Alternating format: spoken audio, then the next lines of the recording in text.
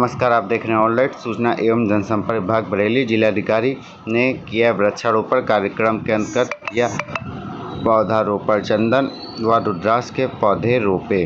जिलाधिकारी श्री शिवाकांत द्विवेदी ने civil lines स्थित इलाहाबाद बैंक के ऐतिहासिक परिसर में वृक्षारोपण कार्यक्रम के अंतर्गत चंदन व रुद्राक्ष पौधे रोपे। इस अवसर पर लायंस क्लब सदस्यों द्वारा लगभग सौ पौधों को रोपित किया गया। और उन पौधों की देखरेख करने की ज़िम्मेदारी भी क्लब के सदस्यों ने ली।